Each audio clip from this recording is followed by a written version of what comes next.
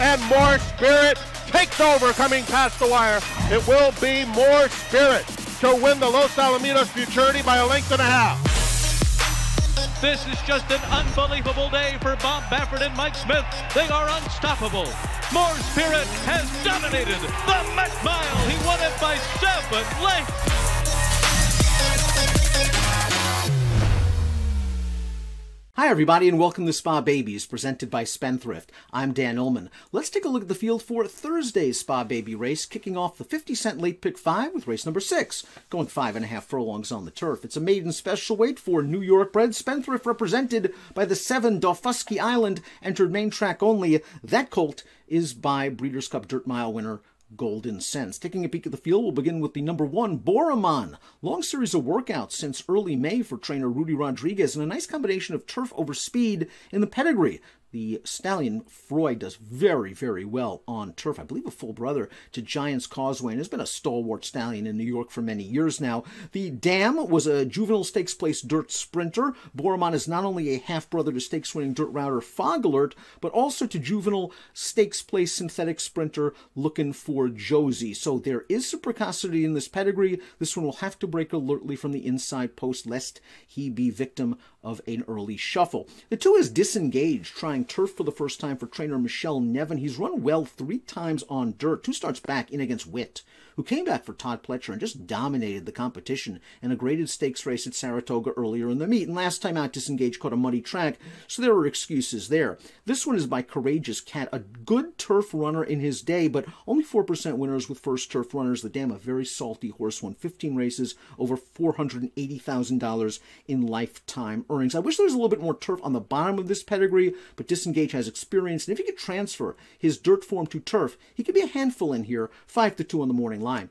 The three is Red Rock Bay, a son of Kentucky Derby and Preakness winner California Chrome. Lots of folks forget, however, that California Chrome was also a Grade 1 stakes winner on the turf. He's gotten off to a slow start with his first turf runners, only 3% winners. The Dam, though, a juvenile stakes place dirt sprinter, adds a little precocity to this pedigree, some dirt and synthetic ability underneath as well. The Dam also a half to the Grade 3 place dirt sprinter Richie, Richie, Rich. Maybe a little bit more distance down the road for the son of California Chrome, but again, the Dam adds a little precocity to the pedigree. The four is Open Till Midnight. Open Till Midnight is by first crop stallion Midnight Storm, who was good on dirt, who was good on turf, had speed in middle distances, and he's gotten off to a good start with his first crop two year olds. This one sold for 6000 as a short yearling, up to 47000 as a yearling, down to 30000 as a two year old after breezing 10 and 3 in that juvenile auction.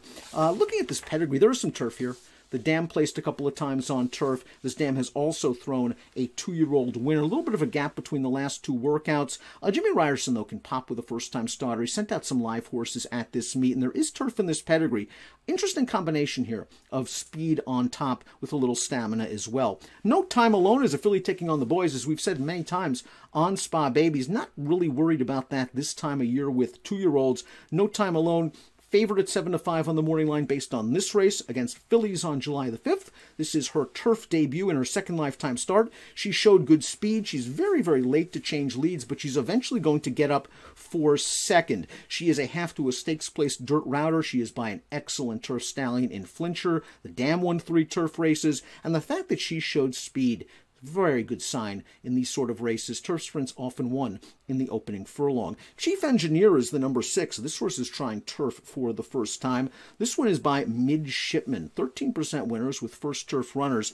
The Dam was a sprint winner at two, and the Dam is a full sister to a stakes place dirt sprinter named Analyze This and That, who was also trained by Russell Cash and also won on turf as a two year old in his third lifetime start, moving from dirt to turf. So there are some angles here. I like that this horse showed improved speed in his second lifetime start at Monmouth. I think he is slowly figuring out the game. I do think he is going to appreciate switching to the turf. Daufuskie Island entered main track only. We'll move on to the eight, Butterloo. This is a son of Super Estrella by Stormcat, a well-bred horse didn't do much on the racetrack. He won a couple of turf routes, albeit in claiming races. Limited data available on Super Estrella as a stallion. The Dam was a juvenile stakes place dirt miler. She won on turf as well. The Dam is a half to Empire Dreams, a multiple stakes winner on dirt and a very, very good New York bird. I believe he won the Empire Classic as well. The Dam also a half to Dynamax Prime, a multiple stakes place dirt router. This barn does good work uh, from limited opportunities, long string of workouts leading up to the debut, gets an aggressive rider in Luis Saez. I do wonder if maybe this colt will want more distance down the road. Completing the field is the number nine, Aerodromos, and this horse is very well bred for sprinting on the turf. Cantharos, not only 17% with juvenile debut runners and 15% with first turf, but also 15% with turf sprinters. The dam was fast. A juvenile stakes winning dirt sprinter. Aerodromo shows a bullet workout at Fair Hill from the gate on July the 22nd. I think this horse is going to show a little bit of speed. He's going to be a price, and although you see in your racing form that this barn is 0 for 7 this year, they've sent out some live runners at prices in this past, especially first time out. I'm expecting some speed from Aerodromos. Taking a look at my top pick for the Thursday Spa Baby race presented by Spendthrift. I think no time alone speed's going to make her dangerous in here. I'm not necessarily sure I want to take a very short price on her. I'll stab a bit with the four open till midnight. The first time starter by the promising first crop sire, Midnight Storm, breezed up at Saratoga on August the 1st. No time alone, dangerous in here. Chief engineer a horse, perhaps, to pick up some pieces. And keep an eye on Aerodromos. Watch the board in this race. You've got some low profile connections. If there is some significant action on the tote, you might want to take notice. 4596 for me in the Thursday Spa Baby race, and our coverage all meet long, presented by Spendthrift.